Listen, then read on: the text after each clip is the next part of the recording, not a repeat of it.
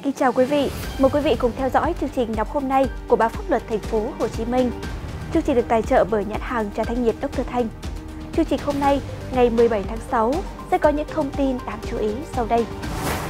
Cận cảnh cuộc sống ở huyện Cư Quyên, Đắk Lắk sau vụ tấn công. Đường vành đai 3 thành phố Hồ Chí Minh và ba cao tốc đồng loạt khởi công. Đến ngày 15 tháng 6, vùng quê Yên Bình ở xã Ea Tiêu và Ea Katu, huyện Cư Quyên, Đắk Lắk đã bình yên trở lại.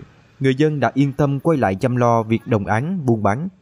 Bà Hờ Kim Hoa Bia, Ủy viên Ban Thường vụ tỉnh ủy, trưởng Ban dân vận tỉnh ủy Đắk Lắk cho biết, song song với việc xử lý các đối tượng theo quy định, thì các huyện, thị, thành phố phải tăng cường tuyên truyền, vận động nhân dân, an dân, giúp dân về mặt tinh thần và hỗ trợ về an sinh xã hội để người dân yên tâm, tin tưởng vào sự lãnh đạo của đảng, nhà nước tăng cường vận động nhân dân không tin, không nghe, không làm theo lời xúi dục của kẻ xấu. Hiện công an đã bắt giữ tổng cộng 46 người liên quan vụ việc. Tòa án nhân dân quận 1 thành phố Hồ Chí Minh vừa mở phiên xử sơ thẩm Nguyễn Xuân Hương Trang, thường gọi là Trang Nemo, chủ cửa hàng Trang Nemo và ba đồng phạm Phạm Quyền Quy, Nguyễn Ngọc Khương và Phan Hoàng Nam về tội gây rối trật tự công cộng. Viện kiểm sát đề nghị hội đồng xét xử tuyên bị cáo Trang, Quy, Khương từ 6 tháng đến 12 tháng tù, bị cáo Nam từ 12 đến 18 tháng tù về tội gây rối trật tự công cộng.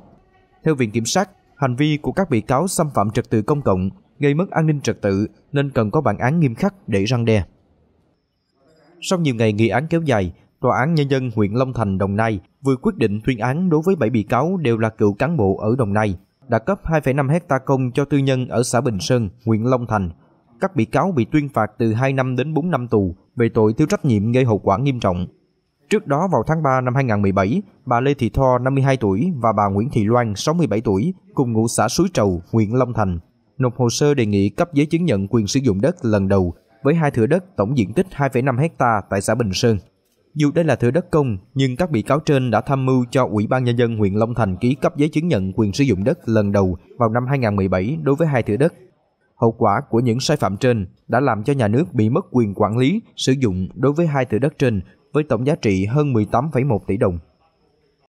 Vài ngày qua, do thời tiết mưa nhiều ở một số nơi, dọc tuyến ven biển, nhất là bờ các bãi tắm của Vũng Tàu như bãi trước, bãi sau, lại xuất hiện tình trạng rác đại dương, trong đó chủ yếu là lục bình đổ về dày kính. Ngoài ra còn có một số loại rác thải sinh hoạt, đồ nhựa kèm theo tấn công các bãi tắm vốn tập trung đông người dân, du khách, gây khó khăn cho người dân tắm biển. Lãnh đạo phòng quản lý đô thị thành phố Vũng Tàu thông tin, trước mắt đã giao bên công ty môi trường đô thị thu dọn rác và thống kê khối lượng. Về lâu dài, thành phố Vũng Tàu đã đề xuất Sở Khoa học và Công nghệ đề tài nghiên cứu khoa học để xử lý vấn đề này.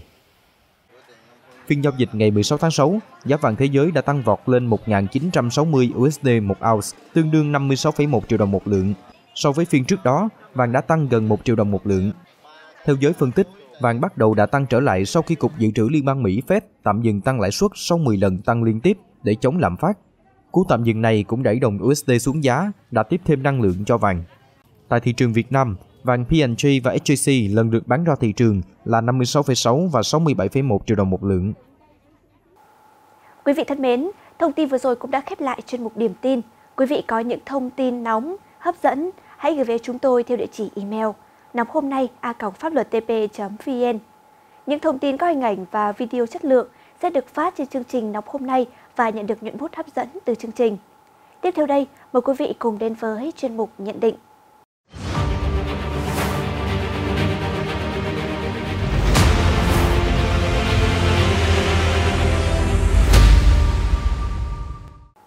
Thưa quý vị, hôm nay 17 tháng 6 và ngày mai 18 tháng 6, các địa phương sẽ đồng loạt khởi công cao tốc Châu Đốc, Cần Thơ, Sóc Trăng, đường vành đai 3 thành phố Hồ Chí Minh, cao tốc Biên Hòa, Vũng Tàu và cao tốc Khánh Hòa, Buôn Ma Thuột.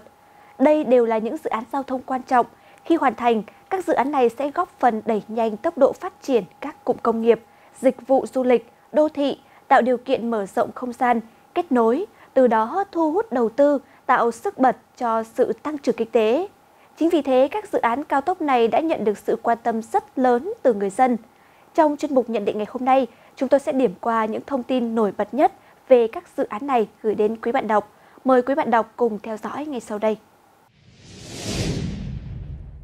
Thông tin về tình hình dự án Vành đai 3 thành phố Hồ Chí Minh, ông Lương Minh Phúc, Giám đốc ban quản lý dự án đầu tư xây dựng các công trình giao thông thành phố Hồ Chí Minh cho biết, đến nay các địa phương đã giải phóng mặt bằng 356 ha trên 410 ha, tức đạt khoảng 87%, vượt tiến độ đề ra. Trong đó, thành phố Thủ Đức đã thu hồi 72,8 ha trên 99,8 ha, đạt khoảng 73%. Huyện Củ Chi đã thu hồi 54,2 ha trên 65,3 ha, đạt khoảng 83%. Huyện Hóc Môn đã thu hồi 94 ha trên 98,9 ha, đạt khoảng 95%. Huyện Bình Chánh đã thu hồi 134,3 ha trên 145,9 ha, đạt khoảng 92%. Hiện nay, chủ đầu tư đã hoàn thành các thủ tục khởi công theo quy định, gồm ký kết hợp đồng, phê duyệt thiết kế bản vẽ thi công, an toàn lao động, vệ sinh môi trường. Dự án đầu tư xây dựng đường vành đai 3 thành phố Hồ Chí Minh có tổng chiều dài 76,3 km đi qua 4 địa phương, thành phố Hồ Chí Minh 47,35 km, tỉnh Đồng Nai 11,26 km, Bình Dương 10,76 km và Long An 6,81 km. Sơ bộ, tổng mức đầu tư là 75.378 tỷ đồng. Quy mô giai đoạn hoàn chỉnh 8 làn xe cao tốc, cấp đường ô tô cao tốc 100 km/h, đường song hành hai bên, đường đô thị 23 làn xe, cấp đường ô tô đô thị 60 km/h. Quy mô giai đoạn phân kỳ 4 làn xe cao tốc, đường song hành hai bên, đường đô thị 23 làn xe, đầu tư không liên tục. Dự án đường cao tốc Biên Hòa Vũng Tàu có chiều dài hơn 53 km đi qua tỉnh Đồng Nai và Bà Rịa Vũng Tàu. Tổng mức đầu tư của dự án là hơn 17.800 tỷ đồng. Trong đó, dự án thành phần 1 từ km 0 đến km 16 do Ủy ban Nhân dân tỉnh Đồng Nai là chủ đầu tư với chiều dài khoảng 16 km. Dự án thành Vân 2 từ km 16 đến km 34 cộng 200 do Bộ Giao thông Vận tải là cơ quan chủ quản, ban quản lý dự án 85 đại diện chủ đầu tư với chiều dài khoảng 18,2 km. Dự án thành phần 3 từ km 34 cộng 200 đến km 53 cộng 700 do Ủy ban Nhân dân tỉnh Bà Rịa Vũng Tàu làm chủ đầu tư với chiều dài khoảng 19,5 km. Dự án đầu tư xây dựng đường bộ cao tốc Khánh Hòa – Buôn Ma Thuột có tổng chiều dài toàn tuyến 117,5 km, điểm đầu tại vị trí giao giữa quốc lộ 26B và quốc lộ 1, khu vực cảng Nam Vân Phong, tỉnh Khánh Hòa. Điểm cuối tại vị trí giao các đường Hồ Chí Minh, đoạn tránh phía đông thành phố Buôn Ma Thuột, tỉnh Đắk Lắk. Dự án được chia thành 3 dự án thành phần. Dự án thành phần 1 do Ủy ban Nhân dân tỉnh Khánh Hòa làm cơ quan chủ quản, chiều dài 31,5 km đi qua các xã phường thuộc thị xã Ninh Hòa, Khánh Hòa. Tổng mức đầu tư dự án hơn 5.333 tỷ đồng. Dự án thành phần 2 do Bộ Giao thông Vận tải làm cơ quan chủ quản, chiều dài gần 37 km đi qua thị xã Ninh Hòa, Khánh Hòa và các huyện gồm Mờ Đờ Rắc, huyện Cờ Rông Bông, huyện Eak, Đắk Lắk. Tổng mức kinh phí hơn 10.436 tỷ đồng. Dự án thành phần 3 do Ủy ban Nhân dân tỉnh Đắk Lắk làm cơ quan chủ quản, chiều dài hơn 48 km. Cao tốc Châu Đốc Cần Thơ Sóc Trăng dài hơn 188 km, điểm đầu kết nối quốc lộ 91 thuộc thành phố Châu Đốc An Giang, điểm cuối giao quốc lộ 5 sông Hậu, kết nối đường dẫn cảng Trần Đề, Sóc Trăng. Trong đó đoạn tuyến qua tỉnh An Giang là 56,7 km, thành phố Cần Thơ là 37,7 km, tỉnh Hậu Giang là 37,7 km và tỉnh Sóc Trăng là 56,1 km. Dự án được chia thành 4 dự án thành phần với tổng mức đầu tư 44.691 tỷ đồng, quy mô 4 làng xe, bố trí làng xe dừng khẩn cấp không liên tục, vận tốc 100 km/h giai đoạn 1. Kính thưa quý vị, thông tin vừa rồi cũng đã khép lại chuyên mục nhận định hôm nay. Tiếp theo chương trình, mời quý vị cùng đến với chuyên mục Ý kiến bạn đọc. Uống Dr. Thanh, thanh lọc cơ thể, tươi mát mỗi ngày.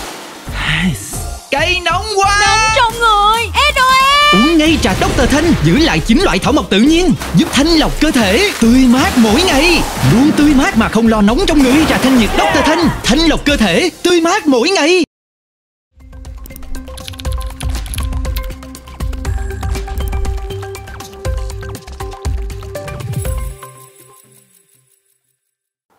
Kính thưa quý vị, Báo Pháp luật Thành phố Hồ Chí Minh luôn là người bạn đồng hành cùng quý bạn đọc, hỗ trợ và tư vấn giúp bạn đọc giải quyết nhiều vấn đề trong đời sống.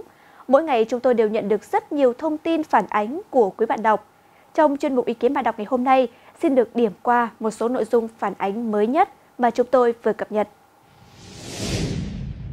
Chúng tôi đã tiếp nhận thông tin của bạn đọc gửi qua fanpage Báo Pháp luật Thành phố Hồ Chí Minh.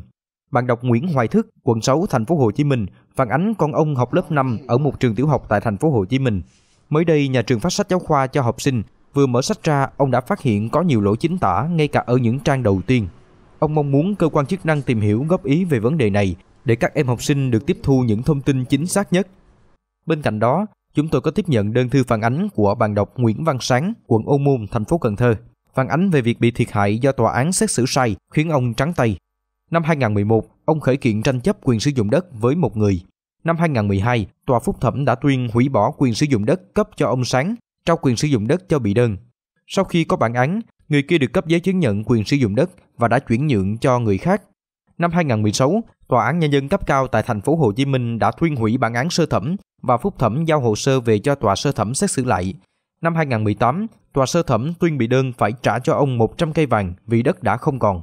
Hiện tại, bị đơn không có tài sản để thi hành bản án.